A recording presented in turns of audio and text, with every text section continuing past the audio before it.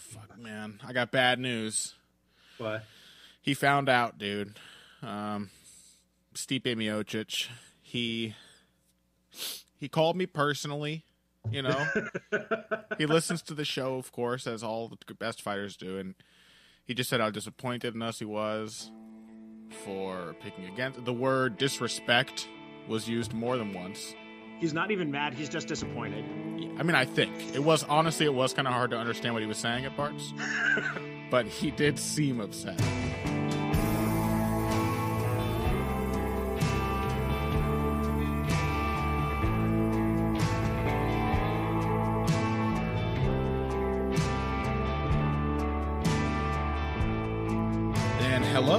And welcome to another episode of Heavy Hands. I am your host, Connor Ruebusch. With me is Dr. Patrick Wyman, as always.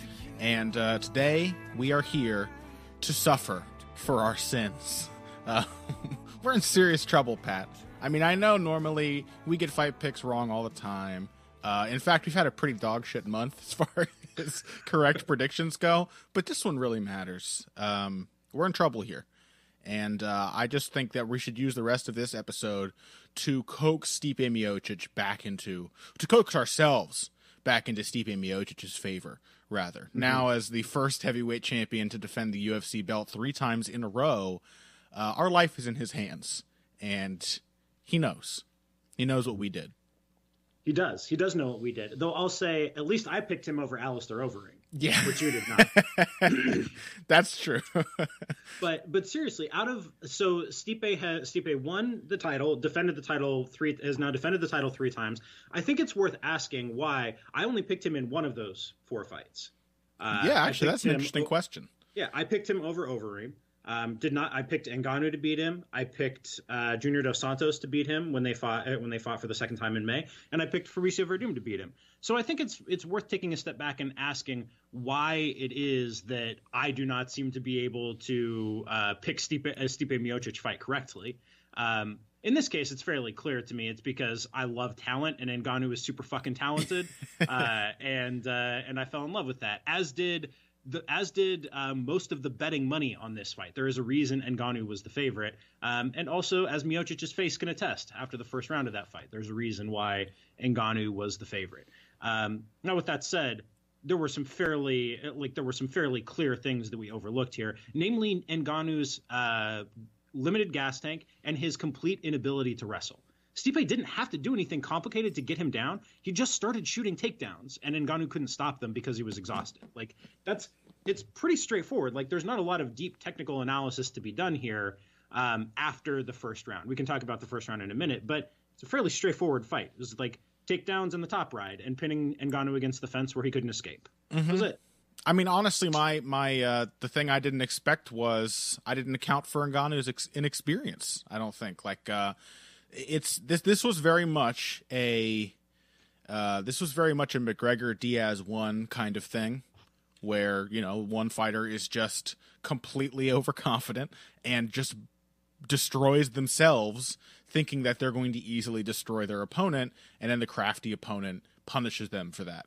Uh, the, the difference is like the thing that really threw me uh, was that there was evidence to suggest that Conor McGregor was not only headed in that direction, but firmly on the puncher's path before he fell to Nate Diaz. I didn't pick Nate Diaz to beat him, but I did write those puncher's path pieces thinking at some point soon he's going to pay for spending more time in the pocket, for getting more aggressive, for throwing so much more volume, for turning into somebody who expects to put people away early. Ngannou seemed to be moving in the opposite direction to me. I really thought we were seeing somebody on a phenom track who was uh, who was just sort of defying the normal trend and very quickly learning what his style was. And it didn't look like that was the case in this fight. I want, I want to. Yeah. Here, here's a topic to to to breach: patience. Patience is something I thought Ngannou had exhibited quite well in previous bouts. Where was the patience here? Well, so I think it's worth stopping for a second to, to focus on that because if you had asked me what Ngannou's defining characteristic was as a fighter going into this, I would have said patience. Yeah, more than even more than the physicality even i would have said it's that he's patient it's that he waits for his opportunities to come to him so he doesn't overextend um, it looked, and it's easy to kind of forget this. I think because Ngannou had shown so much maturity in in what we'd seen from him up to that this point, it looked like the moment got to him a little bit. Like oh, about halfway sure. through the first round, he kind of realized, like, oh shit, I'm in a heavyweight title fight with Stipe Miocic. This guy isn't going away. I'm hitting him with big shots, and it's still not enough. Mm-hmm. Um, and like, there's, I, I, think back to a conversation I had with with Greg Jackson uh, back last this was like 2016, um, summer of 2016, after Lando Vannata lost to Tony Ferguson. And Greg was talking about cardio. And he was talking about cardio not as a matter of physical conditioning, because I would guess that Francis Ngannou is in extraordinary shape by any reasonable standard as a heavyweight fighter, but it's panicking. Yeah. Panicking is what gasses you. It's when your mind gets out of control and you start doing things that you shouldn't do. You forget your technique. Um, and Ngannou forgot his technique. Like if you had looked at a at a straightforward path of Ngannou's raw technique, the way that he, the way that he defended takedowns, the way that he threw punches, um, his footwork, et cetera, et cetera, et cetera, it looked like he was getting better in every fight. But the second that he started to panic a little bit, the second it became clear Miocic wasn't going to get out of there, he started winging shots. Um, winging shots takes a lot of energy. He start he forgot his technique when he was trying to defend takedowns. He started exploding back to his feet like he panicked. And when you panic, that that drains your gas tank very quickly for a variety of different reasons, including just your basic inability to to breathe and keep your heart rate down. Yeah, no shit. He he and Ngannou and Miocic were both exhausted by the end of the second round of this fight. Uh, I want to I want to underscore that. Like Ngannou definitely got tired faster and pro- and never seemed to get out of the depths of that exhaustion until maybe the last couple minutes of the fight he mustered enough energy for some for some salvos in a, in a late attempt to rally.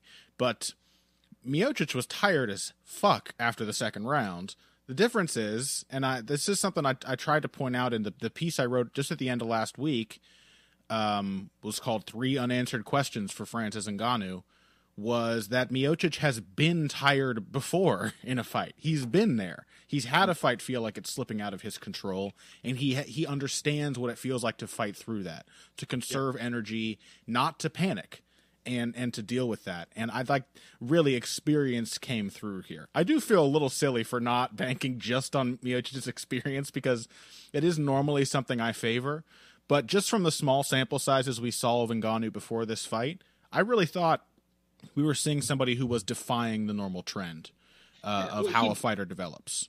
Yeah, and I mean, and I think maybe that in itself is is the lesson to draw from this as far as Ngannou is concerned. Well, I want to talk a little bit about the lessons to draw about Miocic here in a second. Yeah. Um, but as far as Ngannou is concerned, like it's easy to draw a narrative when you don't have that much information there, right? Like we just do not have that much information, on, or we just did not have that much going into this. We have a great deal more now. Um, but eh, there's eh, there there's a danger to that. If you're if the narrative is right, you look like a genius, right? Like you look like you've extrapolated from this limited eh, from this limited set of stuff um, some grand principle, and if and, and if it hits, then you're a genius for it. But if and when it doesn't, you look like a total idiot because you're like, how could I have thought on the basis of this tiny little amount of information I had available to me that this was going to work out? Well, listen, um, listen. I think the fans should be able to drag us, and I mean literally drag us behind their trucks, uh, but patrons only. That's my rule. Only people who support us on Patreon. so if you support the show and you pay us money and you're mad, you can drag us. The rest of you, get in line or pull out that credit card, and then you'll have permission to punish us for our our ill-advised pick. Yes. All right. So let's talk a little bit about Miocic. Uh, we, yeah. we we could talk about Ngannou's sort of failure. I do think in a lot of ways, uh, in ways that perhaps we should have seen coming, though, though, certainly ways I didn't expect based on his last fight. Ngannou played right into Miocic's hands, but those were very capable hands that he played into. Miocic, I thought, I mean, he approached this fight for for all of me not picking him. He did approach this fight the way that I said I thought he should. He denied exchanges as much as he could. He did a lot of feinting, pot shotting, and very short combinations. And I want to uh, read to you what his coach told him after the end of the first round. Marcus Marinelli said, Don't fall asleep in that mid range. I don't want you fighting in mid range. That's what he did for the most part. Um, and you could see mid range was super duper dangerous because even when Ngannou was exhausted and had barely any drive, there was still so much weight behind his hands that he was snapping Miocic's head around just by basically pawing at him. Uh, and that was the only times that Miocic was really in trouble is when he was drifting in that mid range, right around that 80% extension mark of Ngannou's arms. But otherwise, I thought he did a pretty phenomenal job of mitigating risks and uh, managing his distance really, really well. And then, of course, the wrestling. Miocic literally uh, eschewed MMA wrestling in favor of just wrestling wrestling. I don't know exactly what you call that position he kept holding Ngannou down in. Uh, I called it jokingly in my notes an eighth Nelson because it's just an arm across the back of the neck with nothing to support it. But I mean, I thought that was like a brilliant touch. It didn't make the fight more fun to watch, of course, but he he felt he had such a big dude underneath him. He needed to control him that he couldn't pull that hand away to punch, and he couldn't even posture up or stand to throw knees because it would take enough weight off Ngannou's back that Miocic felt he was going to be able to stand up. So he just made him carry his weight. Just made him carry his weight, made him think about getting up, but never gave him the actual window in which to do so. I loved that. Like that was that was experience coming into play. That was a fighter who knew exactly how he needed to win this fight down the stretch. Yeah, it was it, it was an exceptionally impressive performance, and I think it gets at the heart of I think why at least I have such a blind spot for Miocic. Sure, me which too. Is that obviously there is nothing. Okay, so Miocic hits hard. He's a crisp boxer. He is a solid wrestler. I don't think he's I don't think he's the best wrestler in that division.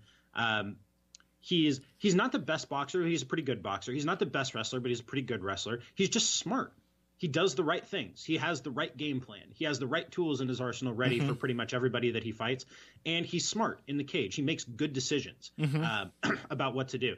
The the thing that really stood out to me here was like the after the mid range comment, right? Like your what his what his coach said.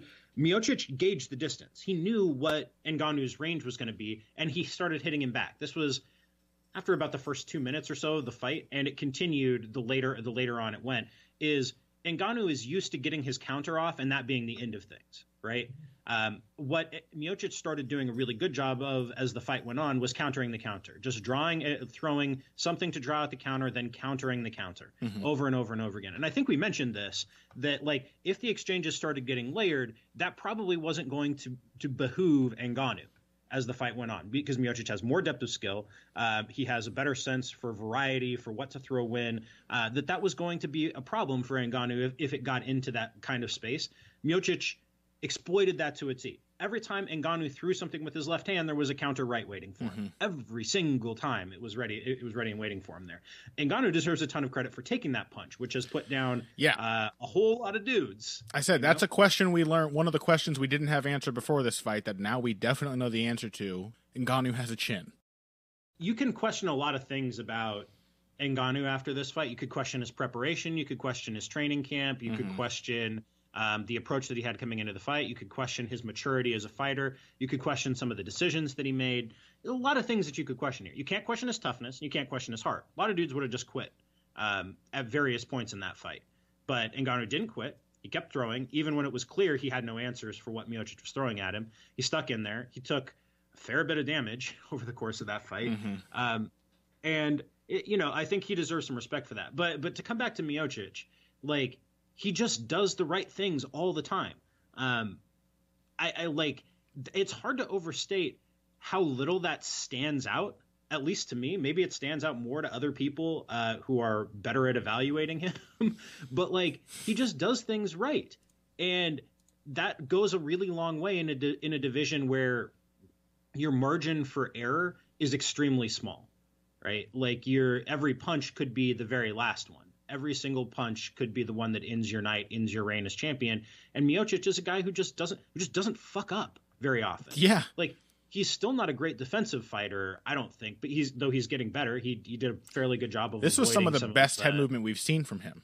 Um, and, I, and I think too, though, like, like Miocic has always had some defensive moves. It's that they vanish when he's attacking, and that still Yeah. seemed to be the case here. When he was putting his punches together, that's when Ngannou was hitting him without too much difficulty. But when he was thinking defense, it looked really, really good in this fight compared to past bouts.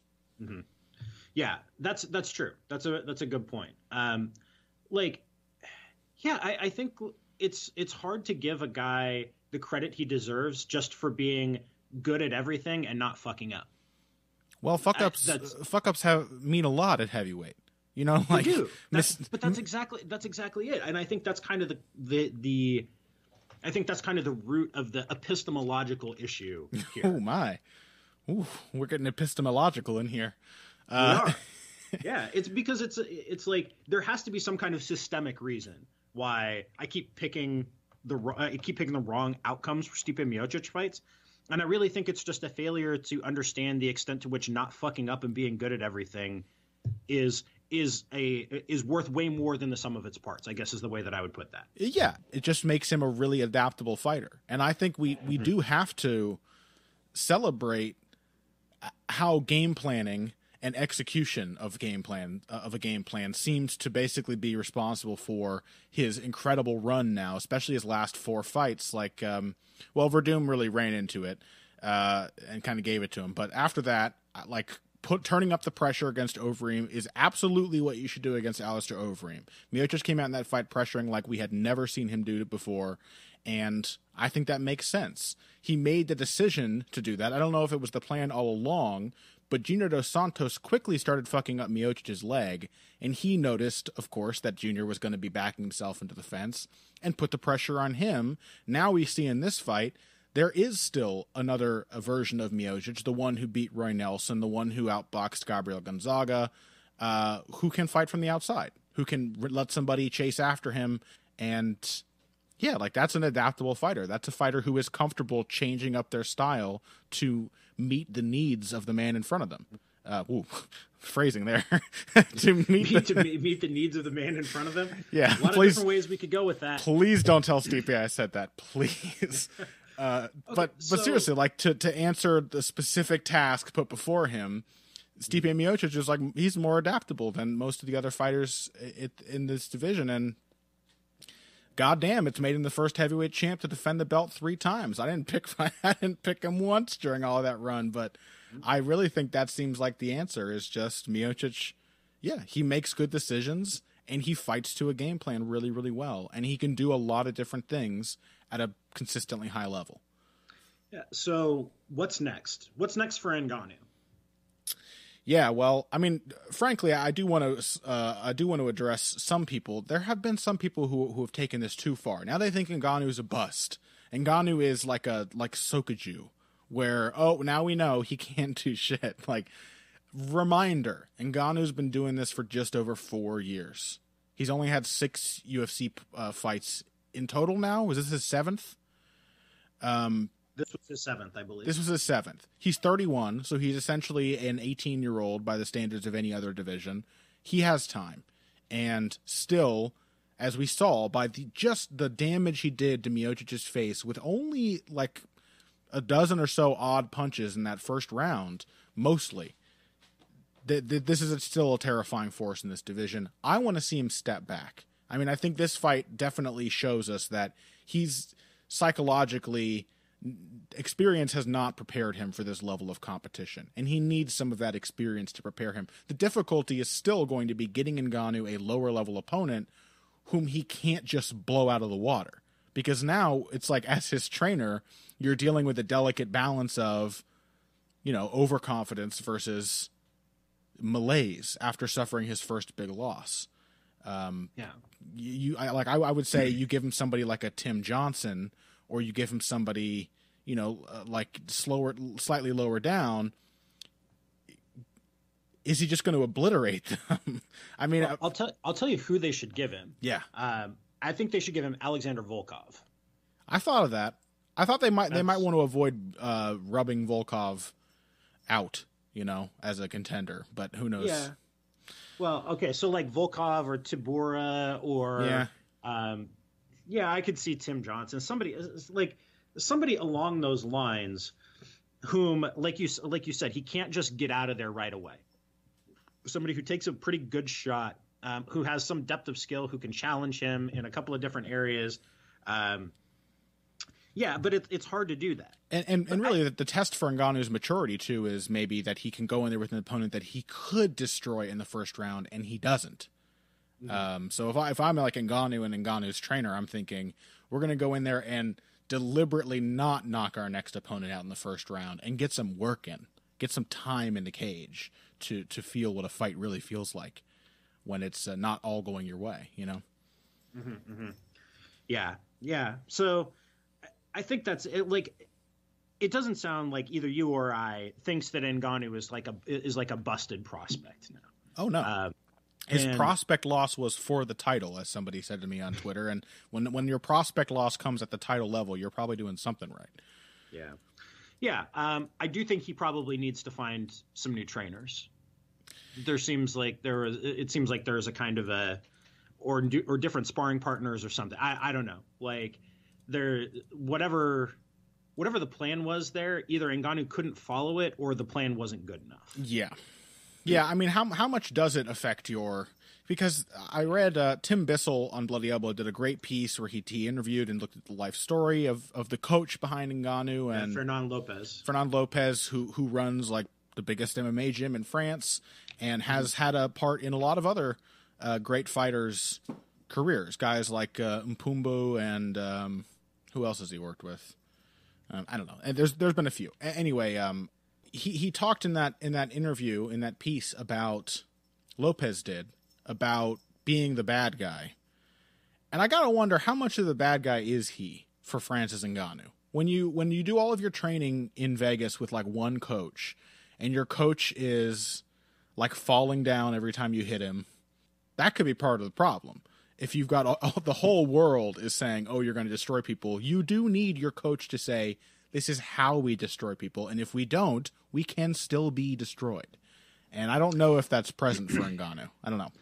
Yeah, I, I, I mean, I don't know about the psychology of their relationship. Um, and I, I, I don't know. I mean, maybe I think maybe Ngannou needs to go on a little walkabout, um, a little gym walkabout, a little Curtis Blaydes action. out.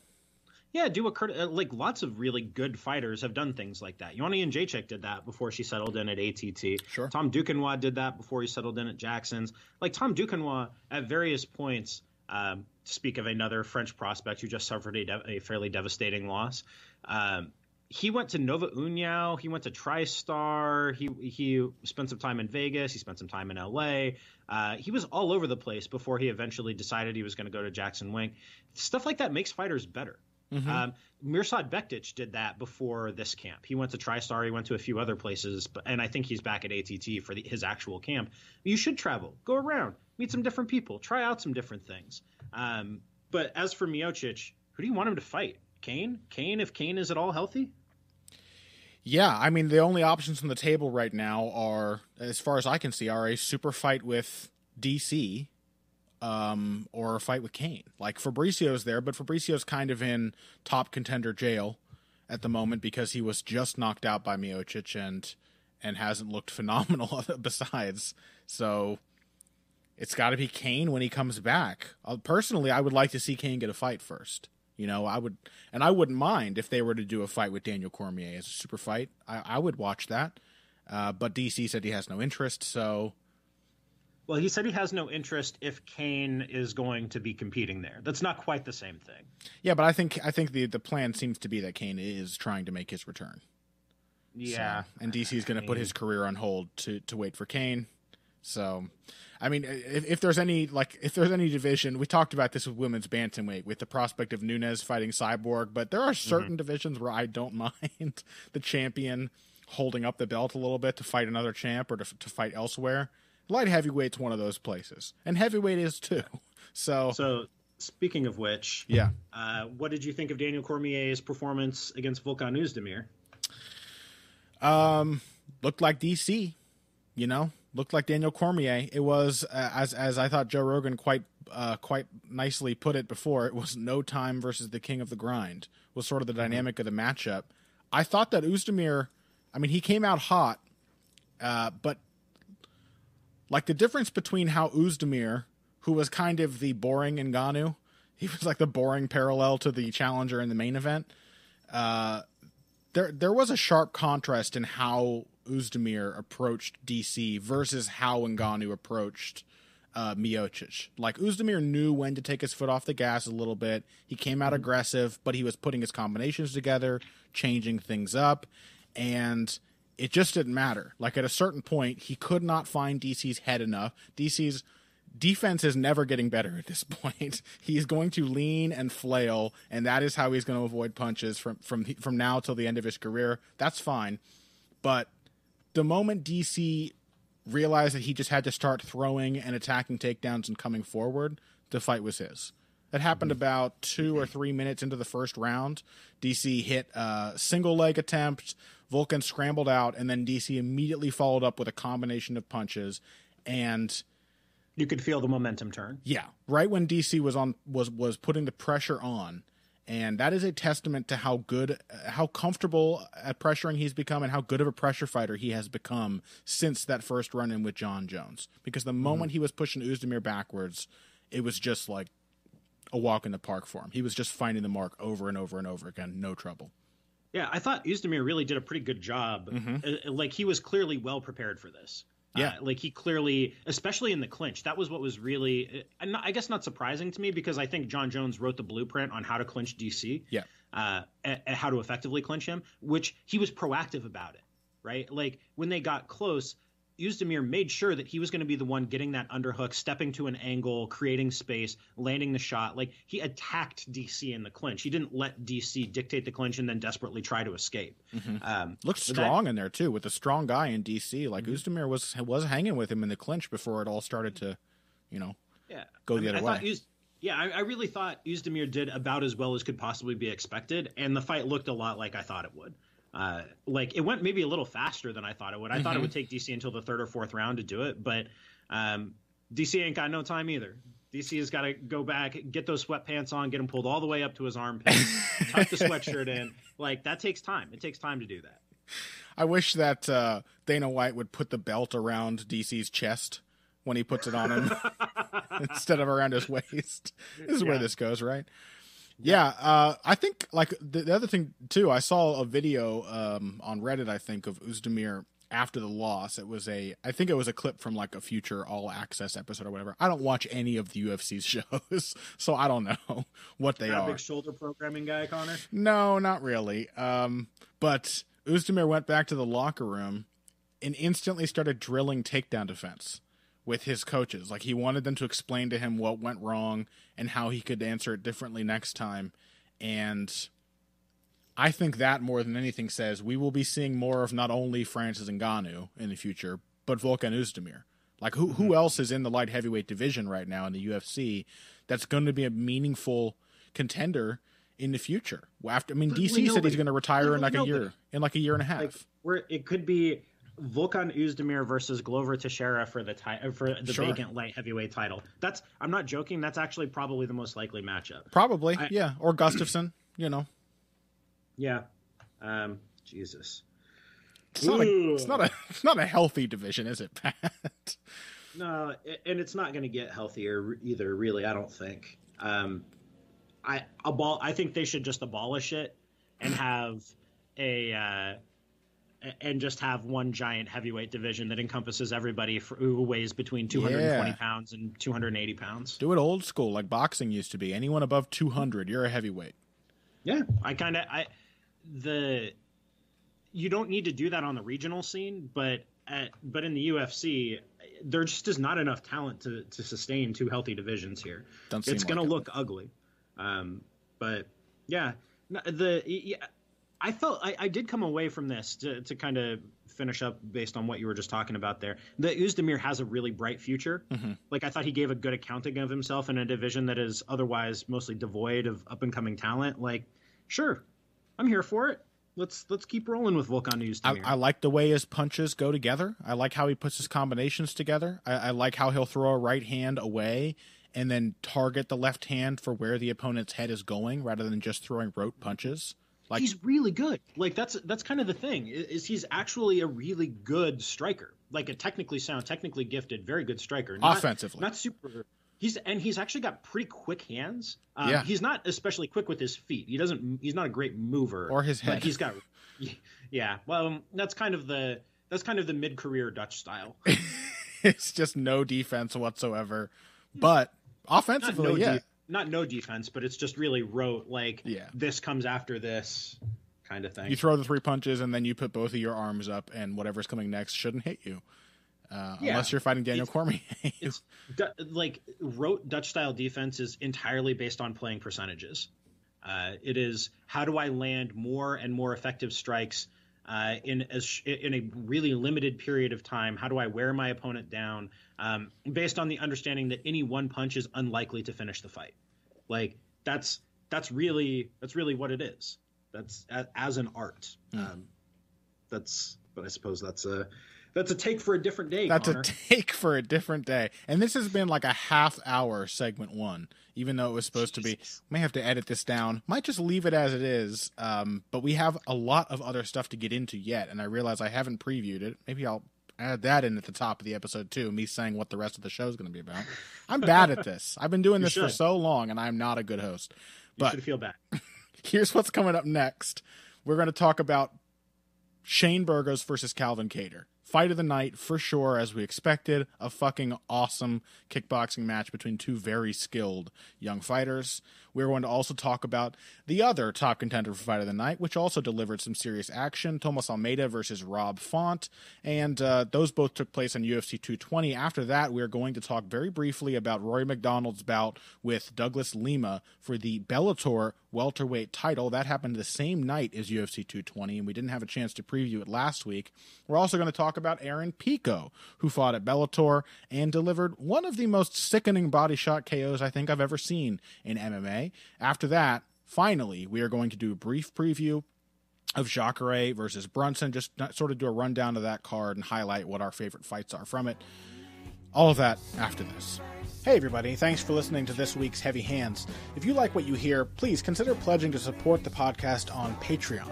Patreon is basically continuous crowdfunding. You sign up to contribute a certain amount per month to help us with production costs and the like, and in return, you get rewards ranging from a mention on the Heavy Hands website to a question or topic of your choice being discussed on the show. We have a lot more in the works to reward you for your help, and we appreciate every contribution. No amount is too small. Just head over to patreon.com and find how you can help out the only show dedicated to the finer points of face punching. Now, let's get back to it. And we keep rolling with Shane Burgos versus Calvin Kattar. Pat, I loved this fight. I really, really enjoyed it while it was happening. I've watched it already twice, I think, um, since it happened. It was just a beautiful contest. Lots of adjustments happening from both guys, big momentum swings, and a finish that seemed to come out of nowhere. When Calvin Kattar nicknamed himself the Boston Finisher, I don't think even he realized that meant he was just only going to get finishes in Boston. but holy shit, for his first finish in years, it was a violent one. I mean, he certainly made the nickname feel appropriate when he put Shane Burgos down with like just three nasty power punches, perfectly placed, one after the other. How much you want to bet Calvin Kattar looks like a genius on a double end bag? Because he had no trouble finding Burgos' chin as he was wobbling crazily around after that first right hand. that fight fucking ruled. I oh my god, it. I love that fight. That fight was so good, man. It was every bit as good as we thought it could be, if not even better. Um, what what was really striking to me was that I thought the momentum had turned. Right, I thought Mm-hmm. after about uh, the the first couple of minutes of the second round, I thought it was Burgos's fight. It looked a lot like Burgos's prior fights have, where he starts to pick up on what you're showing him. He la- he starts to land a little more. You start to feel his power. You start to feel his body work, uh, and then the big shot comes, and then the momentum firmly turns. So like it's a it's both a round winning, but also a devastating knockout way of approaching a fight. Right, like um, I thought that was I was convinced that uh, that it was Burgos's fight after that point. Did not expect Kattar to land the to land the shot that he did. Yeah, but It Burgos was- was starting to time that jab. He was starting to get in with body shots. He was starting to counter it a lot with low kicks and uh, with um, combinations coming back and, and especially finishing to the body because Kattar proved decidedly difficult to hit to the head for Burgos for a lot of this bout.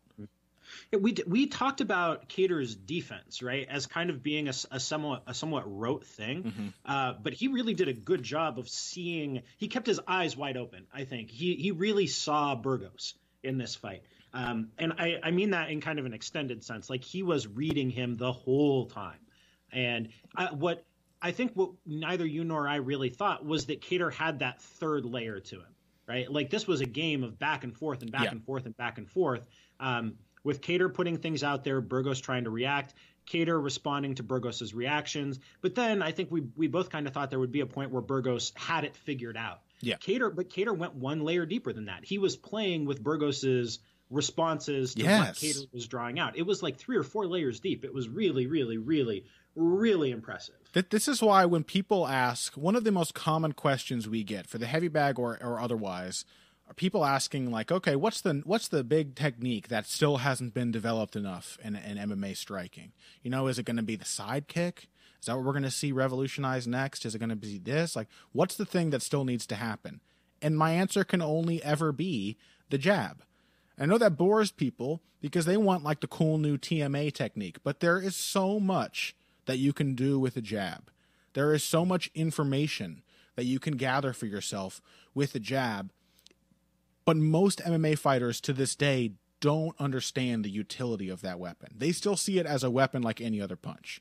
They see it as something you hit the person with. Yeah, it's quick. So maybe you hit it with them first and then you can hit them with something else. But Calvin Kattar showed a great deep understanding of how a jab can work.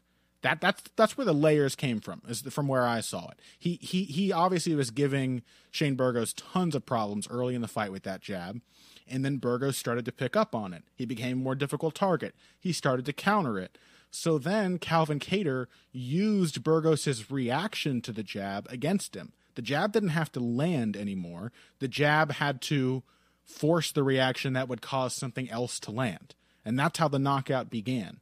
Um, I did talk, I think, when we previewed this about how um, oh, I'm, I'm, blanking on his name. Who's Calvin Kattar's uh, coach? Rob Fonts. Mark DellaGrotte. DellaGrotte. Um, DellaGrotte. How his fighters sort of have like, I said they seem a little rote in ways that they have like sets of moves. Um, but with a full camp behind him, Calvin Kattar seemed really capable of using those all of those moves at his disposal. And I talked last time about how DellaGrotte asked for him to throw a skip jab. And basically, it was the same instruction here, which also speaks to Kattar's coachability. But just before the finish in this fight, um, and before the third round, DellaGrotte had instructed Kattar to to start throwing more combinations. So Kattar tried that. He he tried a combination early in round three, one, two, three. Nothing really landed clean, but it did get a reaction out of Burgos. And immediately after, from the corner, you could hear DellaGrotte shouting, "Okay, now step in with it. Bring your feet with you after the jab and put something behind it." So Kattar flashed the jab. It didn't really land. Burgos pulled his head back, but when the left hand came out of his line of sight, it was revealed to him that Kattar had suddenly come much, much closer to him than he expected. And so he could not time the right hand that came after the jab. The jab didn't have to land. Kattar knew how to use the fact that it wasn't landing to his advantage. And I, I fucking love that kind of thing. Um, it was um, really beautiful. That's man. depth. Uh, that is striking depth. Yeah. This, looking at this, so we don't so Kattar appears to have all the tools. He's a finished product. It seems it seems fairly clear to yeah. me. Like you're this this is a division right now where we have a pretty established kind of where we have the the top few fighters are pretty established. It's Holloway, Aldo, and Edgar. Um, then after that, it is totally wide open. Yeah, you have no idea who's going to step up, who's going to be the next guy. Brian Ortega is writing a nice thing. Josh Emmett recently announced his arrival in that division. Um, but otherwise, it's pretty wide open. Like it could be anybody who who who takes the next step up. I would love to see uh, Kattar in there with like a top ten guy next because he's a finish. He's effectively a finished product. Like the guy has been around for a long time. He's got tons of experience. You don't need to bring this guy along slowly and give him a bunch of different like slow but sure steps up. Like just you could toss him in there with Myles Jury or uh, the the winner of uh, if Bermudez beats Fili. Yeah, I was thinking the same thing. Dennis Bermudez is fighting on this next weekend's card. If he beats Fili, he'll probably jump up to like number 10. Give mm-hmm. Kattar that fight. Let him break into the top 10 that way. exactly. If he uh, can beat him, I mean, I think that's like the other thing is I think Bermudez is a really great fighter to test people who are trying to work their way towards contention because he can do pretty much everything. I think you could even give Kattar Darren Elkins um, if you really wanted to. Yeah, although would break my the, the Darren Elkins fan in my heart. it would break that part of my heart because I do want to s- somehow see Darren Elkins working towards the title, and that wouldn't do it for him. Yeah, yeah, all true. Um, very impressive. I really love. Uh, I really, really love Calvin Kattar's game, and I also this does not in any way diminish my enthusiasm for Shane Burgos. Oh who, hell no! Like he's only been fighting for four years. Has he? Yeah, he had his first pro fight in 2013. I didn't know coming that. up on five years, I guess. Yeah, so like this is his prospect loss. Damn! Like compare compare his. Hold on a sec. There's a cat jumping on a fucking paper bag. Uh, I don't sure. know if you can hear that, but mere feet away from the microphone. Let me take care. Shane Burgos, five years yeah. in. Mm-hmm. I did yeah, not know a... that. I didn't. Somehow, yeah. I didn't realize that he was so inexperienced. Like he, th- compare his level of skill to Ngannou, right? Like. Mm-hmm this is somebody with a seriously deep game. Yeah, there there were people saying after this, like, man, somebody needs to tell Shane Burgos what CTE is. He's got no head movement. He was just easy. I'm like, you, Shane Burgos' defense is actually really, really good. Uh, Calvin Kattar just has a phenomenally good jab, and it looked even better than it did against Andre Fili here. Uh, and I have to attribute some of that to a full camp, but like Shane Burgos, a inexperienced, but b how do you look at him and think that he's somebody who only knows how to slug with people? Like he's he's turning into already a really really sharp counterpuncher. And what you're going to see from him as time goes on is that he will slow the pace. Like young fighters who have like endless gas tanks because they can work themselves into insane shape because they're young. Um, like the dude is the dude is 26 years old. Like as he gets a little older, as he spars a little less, um, as he picks up an injury or two here or there, he'll slow the pace to the point where he's throwing, you know, say like 12 strikes a minute instead of 18 or 20 mm-hmm. and he'll get hit less and you'll see his defense works even better in that regard. Like he's gonna like as his depth of skill grows he's not gonna get hit as much. Yeah. Um, like a lot of like again jose aldo versus shoji maruyama go watch that fight. See the future greatest defense uh, single greatest defensive fighter of all time in terms of the very in terms of the depth and layers to his defense and watch him get lit up by a japanese journeyman. Go, like, go watch young... anderson silva and his like rumble on the rock or pride fights. Just getting tagged by people who are way worse technically than he would become in the future. Yeah it's um, it's just this is the natural progression. It, yeah. and shane burgos as a matter of defensive skill and moves um, not the most layered dude yet, but he's got moves. Like he is way further along than it, you have the right to expect from any fighter yeah. four years into his career. So, somebody said he do, he doesn't know how to move his head, which baffled me because I thought, if anything, he relied on head movement a little too much in this fight. Mm-hmm. He could have used some more footwork and some more angles and kept his hands up a little bit to deflect some of Kattar's long straight shots.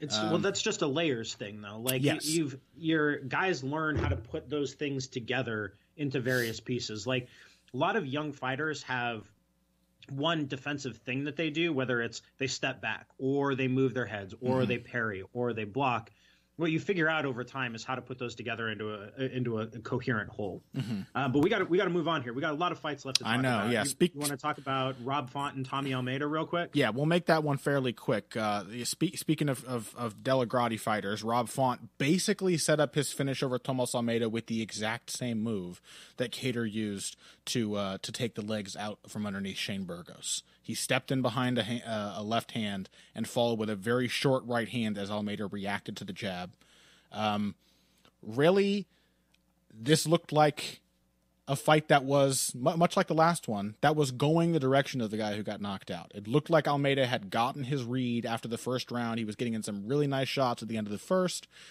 But honestly, here, un- unlike Burgos, like I think I can attest a lot of what happened to the fact that Almeida's chin just isn't very good. Uh, he can't afford to take. Like the, mistakes are much more grave for him than they are for most of the people he's fighting. And I mean, I don't know what to say about that. I think we may be starting to see the signs of where Almeida's ceiling really is in this division. Yeah, I mean, I, I think if not for the chin, he would be a really, really elite fighter, albeit one who probably gets hit a little too much for his own good. Mm-hmm. Um, but if you can't take shots, the bantamweight division, ironically, for guys who are not that big, is full of big time punchers Oh, at the top and really dangerous offensive fighters. And there's just no place for a guy who can't take a shot in the top five or so. Yeah. I think he'll be a kind of a fringy top ten fighter. Um, simply because his offensive skills are so overwhelming, and like if he goes on a nice run, he- I could see him going on a nice run and kind of working his way up. But that's just a huge liability. He's also honestly not that young in his career. Uh, he's he's been fighting as a pro in MMA since 2011, so he's now seven. He's now coming up on seven years in. He's had a lot of fights. He's taken a lot of damage. He had a Muay Thai career before he was in MMA. Like the dude has taken a lot of damage. His chin is not going to get better, uh, and there are only so many ways of him being able to adjust his overall game to cover up the the basic deficiency in his inability to take a shot. Yeah, I thought Font did a really nice job of, of understanding that he needed to pressure Almeida, though. Um, the, the fight started to slip away from Yeah. him after the end of the first round, and he came out in the second and just started walking Almeida down again, started staying in his face, making Almeida react. Almeida can react quite well. He's quite a good counterpuncher, uh, counter striker, because he's got such a diverse array of tools, but he likes to draw out the opportunities to counter with his pressure. And he likes to be able to lead at will because the other guy is cornered. And so uh, font did a great job of taking him back out of his element just when it seemed almeida was starting to get into the fight. And I, you know, I would have assumed that Almeida would probably be able to adjust to that, but um, Bad Chin and Rob Font being a particularly powerful puncher, that's a bad combination for Almeida. And I do want to say, Rob Font's the actual finish, the Holly Holm's style head kick out of the clinch or out of like the the, the phone booth, pretty fucking slick.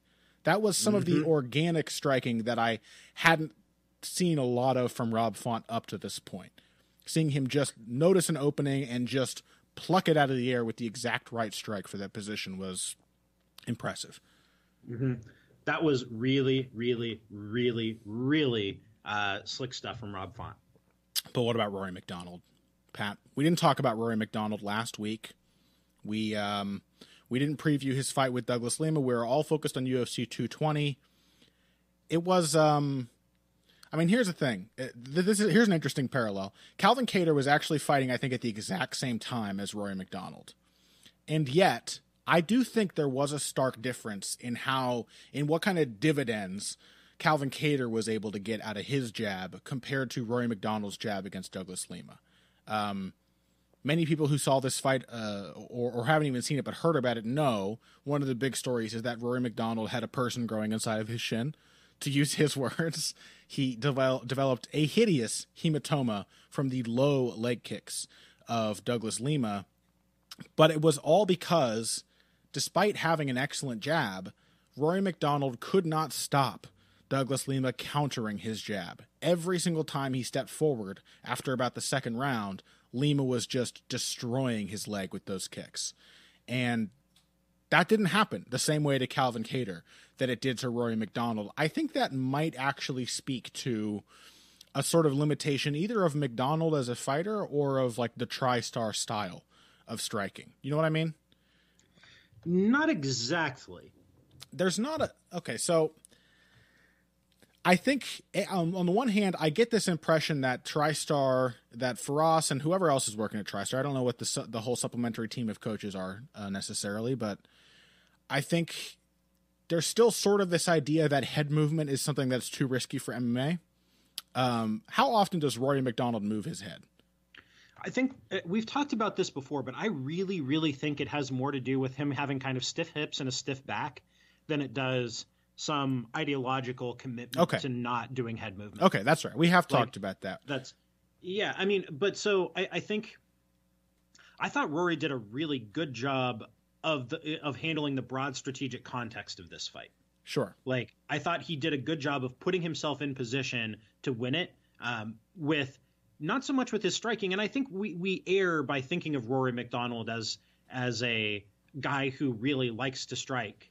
You know, I think given his druthers, Rory wants to be it, getting in on takedowns and and working you over from top position. That's really his core I skill mean, yeah. set. I mean, frankly, I think Rory MacDonald errs sometimes in thinking of himself as a striker.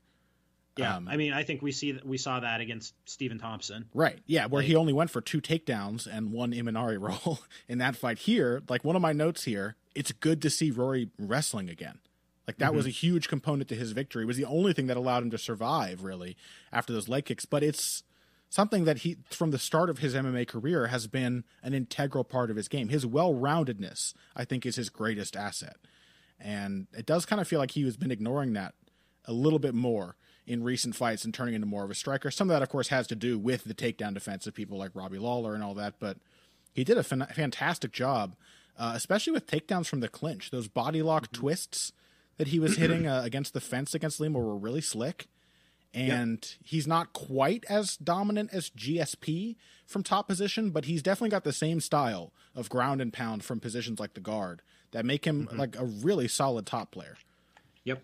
He's yeah, and, and it was so this I, I think this was a mature performance from him mm-hmm. in the sense that he had to like he couldn't get fixated on any one thing. I thought he did a really good job of dealing with Lima's jab. Uh, I think he did a great job of throwing that overhand right over the top of mm-hmm. Lima's jab, largely taking that away.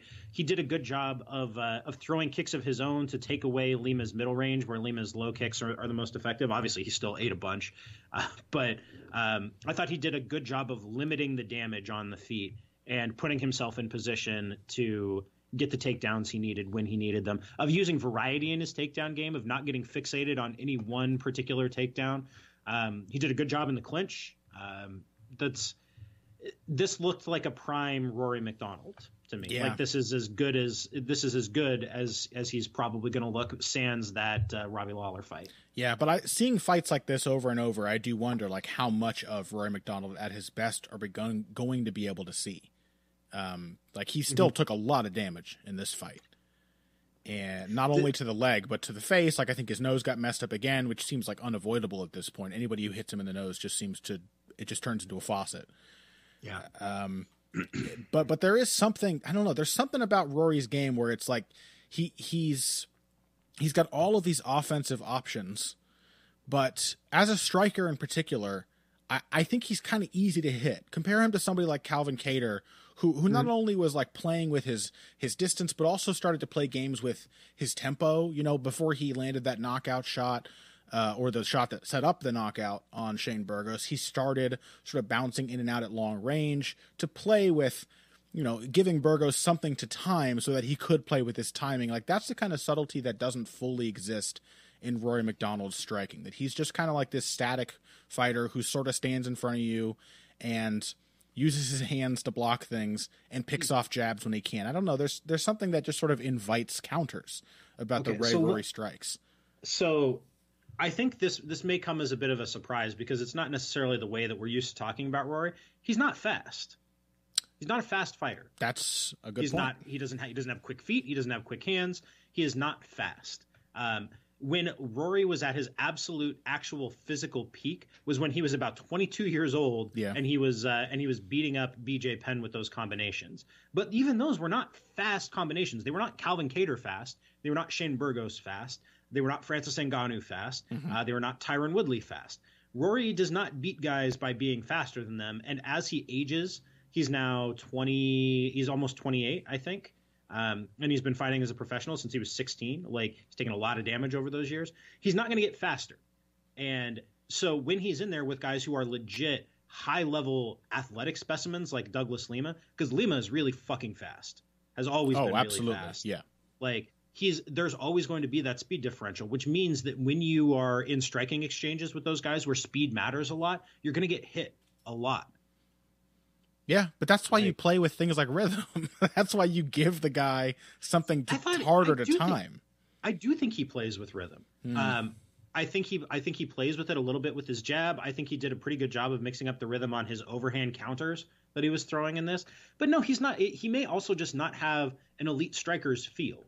Like there's, yeah. we kind of take it for granted that over time you're going to develop these things some guys just maybe never really do. Maybe they don't. Maybe they don't have kind of that fundamental feel for yeah. it. Rory, because he's a workaholic and he's been and he's trained by guys who are workaholics, has made himself maybe to be into being a better striker than he has a real feel for. Mm.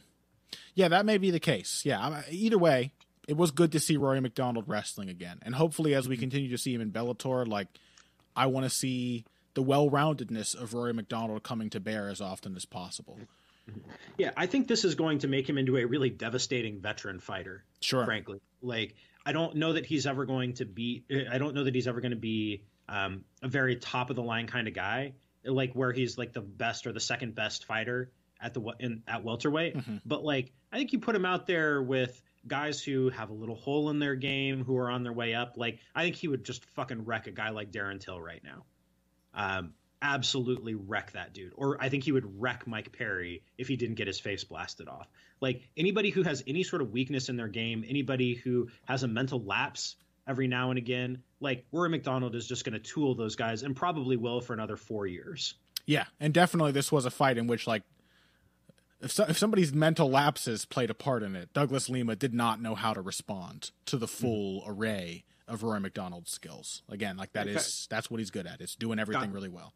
Got frustrated in the clinch, uh, got frustrated, uh, made bad decisions about playing from his back, uh, made bad decisions uh, with his footwork when he got pressured back to the fence. He wasn't nearly proactive enough about trying to escape.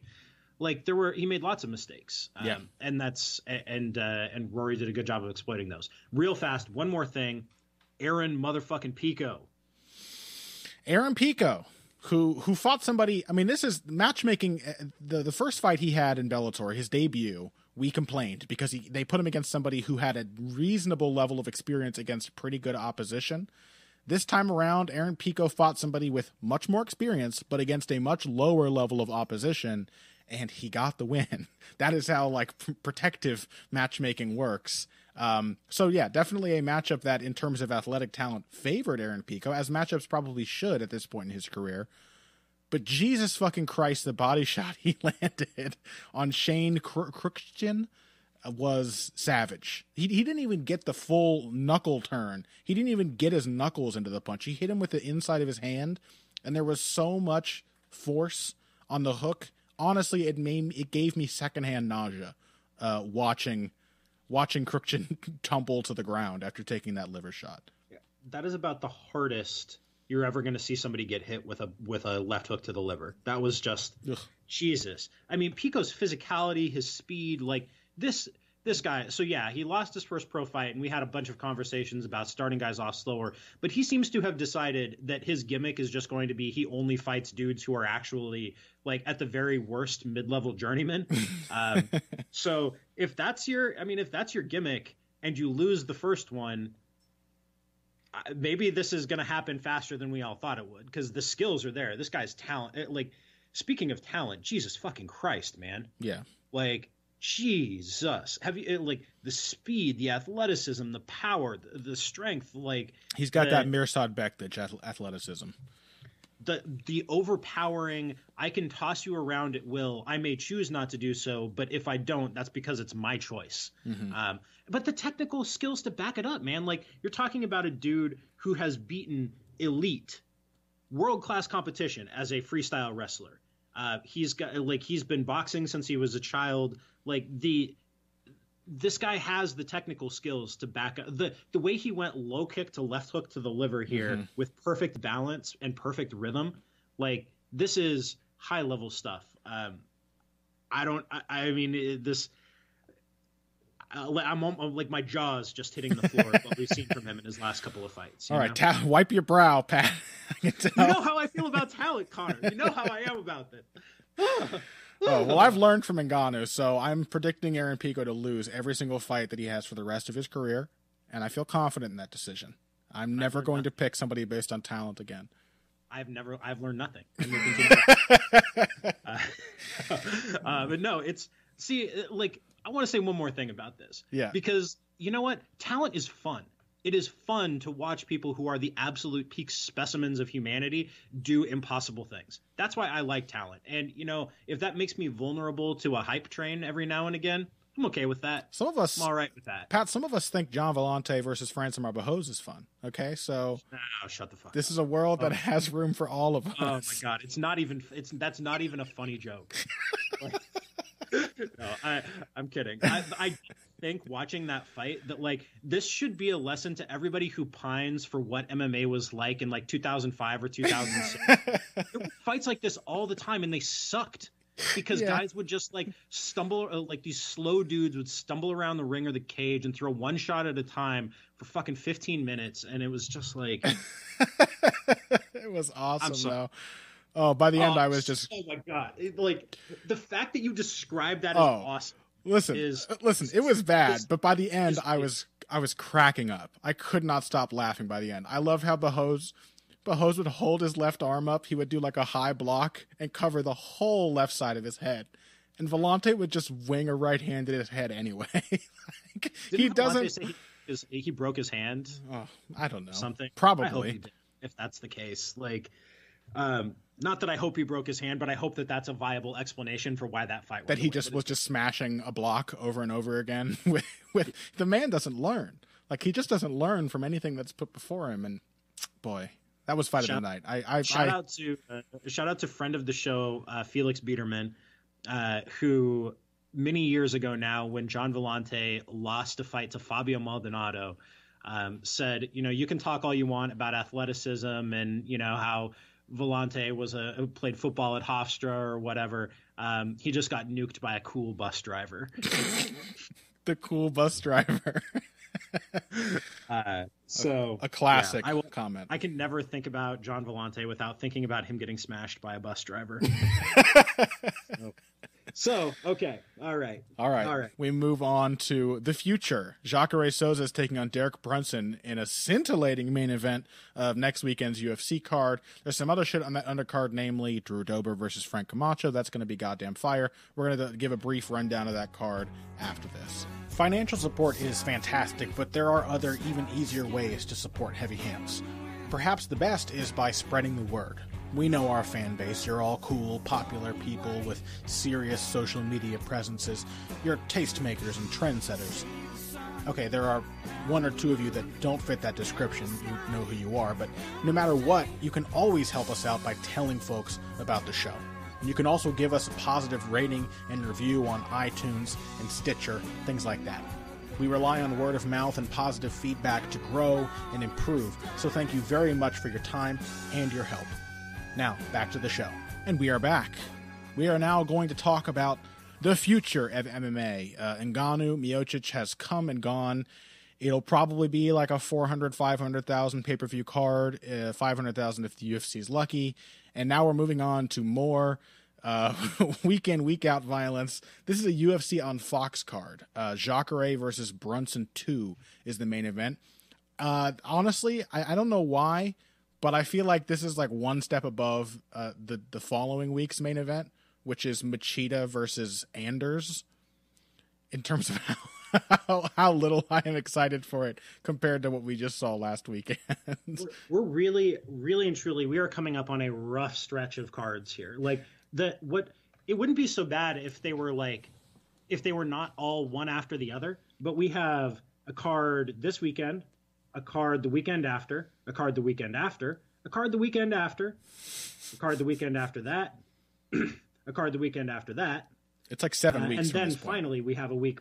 Finally, we have a week off. Yes. So the problem here is that none of these cards stands out in any meaningful way. Like even the like you, we really are waiting until UFC 223 for a card that looks like a big one. So that's we're we're looking all the way until April before we have a card that stands out on the strength of its lineup. Might be a time for topics, maybe some retrospectives on some of our favorite fighters you know, from the past. Maybe uh, not just covering the UFC schedule, because yeah, there there de- these are definitely cards with potential. That if you were to condense the upcoming schedule into four, maybe five cards, you would have a much stronger night of fights because there are things here to care about. Like the main event, a lot of, lot of things, some really good fights. Yeah, like the main event doesn't it doesn't immediately excite you because like it, both of these guys for whatever reason, especially Derek Brunson, just kind of feels like he's in limbo. Jacare feels like he's too old to probably work himself back into contention. So, for outside reasons, I'm not super interested in that. But we've got I mean, Andre Fili, Dennis Bermudez, that's going to be fun. Those are top 10 featherweights. Well, Fili's not anymore, but still, that's going to be action. Gregor Gillespie is fighting here. That is someone to watch at lightweight. That is an important fighter. Drew Dober versus Frank Camacho is going to be, that is like perfect Fox card, uh, main card filler because it's going to be an insane action fight that doesn't really mean much, but it's going to be really good to watch. Um, I like Bobby Green versus Erik Koch. I think that's strong matchmaking. I like Bektic versus Pepe. I don't have a lot of specific complaints.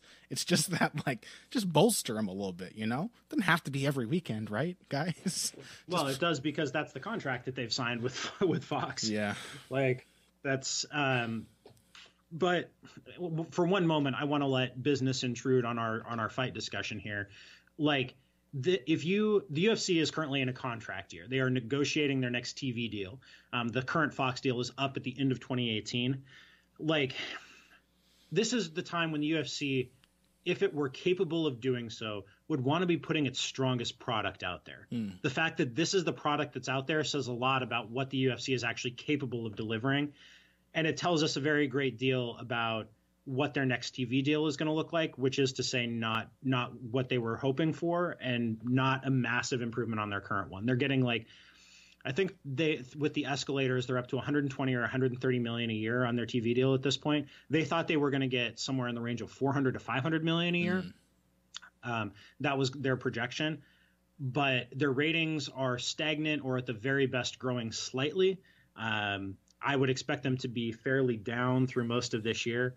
And so if they get 200 million, that's going to be a huge accomplishment for them. I think that's about what they're going to get. So there, but there isn't really a positive way to spin that, and I think you're going to see that reflected in kind of the quality of the TV cards that we see for the next few months. Wish they would just go to Fight Pass or something.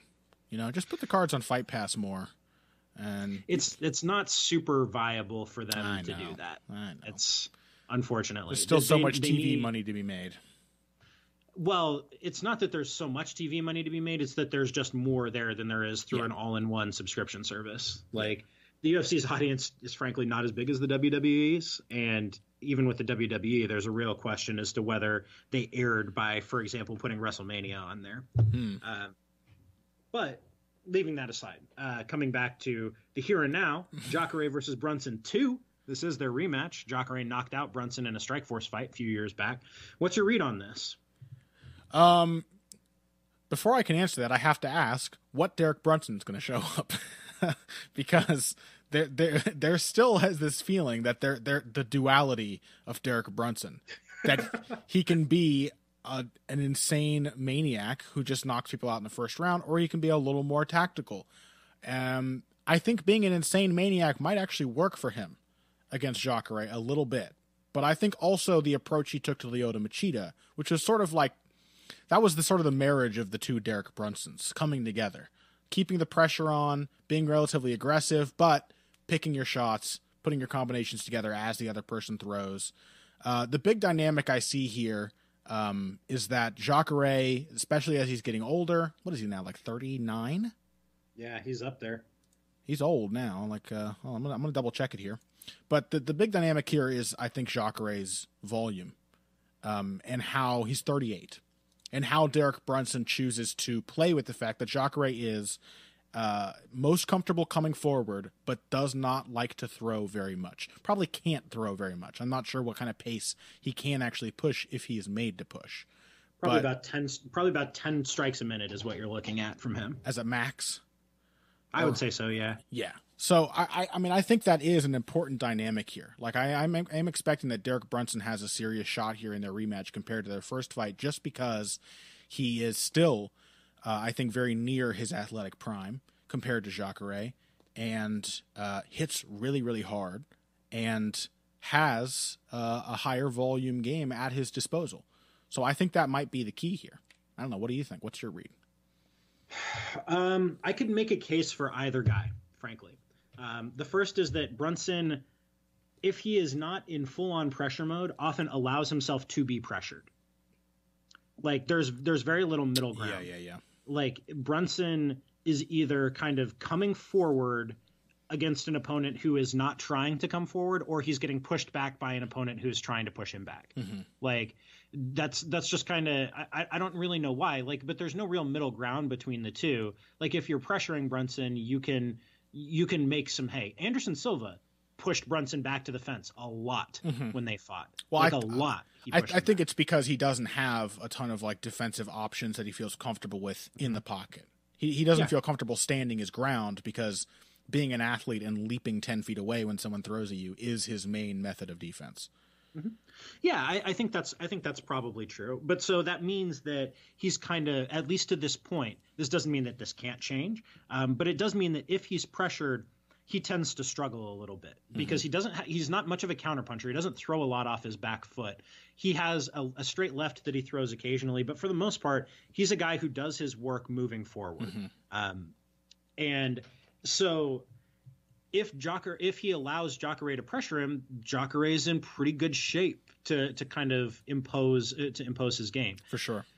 It, but if Brunson kind of decides that he's going to be the one to seize advantage and pressure, he he can. I, I think he would knock Jacare out if he really goes after him. Jacare can throw some really nice counters. He throws a really nice, uh, really nice right hand counter. He can throw a left hook as a counter, but there's not that many layers to it. You know, Mhm. like it's more of a stop doing that as opposed to I'm drawing you onto a shot. Um, so, and, and when it comes to the takedown game, Brunson has never been taken down. That's astounding. That's really astounding. Yeah, he's never been taken down. Now, with that said, the only guy who's a good takedown artist who's tried to take him down is Yoel Romero, and that was when he wasn't doing. That's when he wasn't. That really was trying. He Romero's I I have totally stopped wrestling phase. Yeah, he Brunson was the last fight of Yoel Romero's. I've totally stopped wrestling phase. It was the next camp when he fought um, uh, uh, Brad Tavares when he did a ton of wrestling in his camp and just Mm. tossed him around. Yep. So and Brunson remember took him down. It took Romero down like three times. mm-hmm. Didn't get much done, but took him down. Brunson's a solid wrestler, but yeah, it is worth pointing out looking at his his his UFC record here. Not a ton of takedown artists actually on there. Yeah, Uh, I'm trying to think who was the last guy to. Uh, let me look at this. I, I went through this last night before we talked. The last guy to try to take him down. It's probably Daniel Kelly, right? It was Roan Carneiro tried to take him down. Dan Kelly. Oh, Dan Kelly didn't get the chance to try Did not get the chance to try. Yeah. yeah that's correct. That first Uh, round Derek Brunson style. Yep. So, I don't, this this to me makes it a really hard matchup to call. Uh, I think if we see low, kind of low volume, tentative Brunson, Jacare can make a lot of hay moving forward in that kind of fight. Could even take him down. I think. Uh, if he pins him against the fence, if he gets him to the fence, I think uh, Jacare could control Brunson there. In Mhm. open space or with Brunson pushing you back toward the fence, he's a monster. Mhm. But if you but if you've got the underhook, I think Brunson is kind of in trouble in that matchup. Yeah. I mean, I don't. I have tr- problems trusting Jacare because of his age, but I don't really Mm-hmm. trust Brunson because he's Brunson. Um, so I think I'm going to go with Jacare. Succinct but fair. Yeah, I mean, I Uh, I think I'm going to go with Jacare. Like, I, I, I just have this feeling that Brunson's going to try to pressure him early and is going to lose his cool.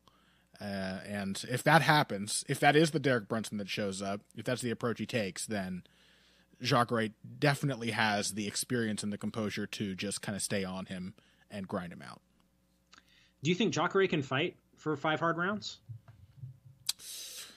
I think he probably can. Um, it- I mean, it depends on the pace, but I don't know that Derek Brunson can fight for five hard rounds because if it's the moment it becomes a hard round, it's like he can't turn it off after that. He's just Mm-hmm. going nuts, and then it's it's not a choice. Uh, although you know what, like he'll pr- he'll probably not go after Jacare that way. Now that I think of it, but I don't know. How do I know what the fuck Derek Brunson's mind is thinking? what what's the approach he chooses to a particular opponent? Well, I don't know. Um, Jacare's age and the fact that he has never taken a great punch worries me because Brunson does hit really hard. Yeah, Um, but can Brunson fight off his back foot, kind of stick and move?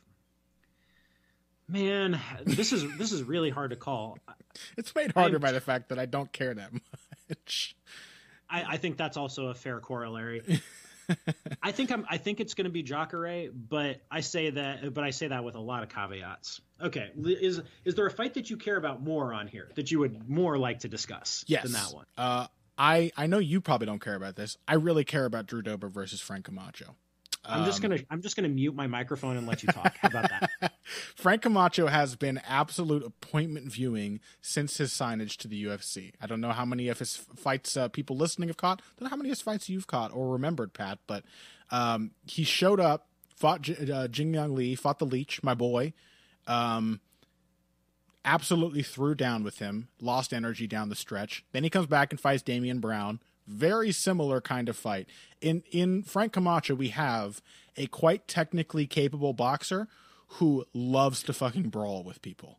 Um, or maybe hates it and just can't resist brawling. But either way, he's got this really pleasing combination to me of of having a lot of different technical answers to what his opponent is doing and also being a wild man.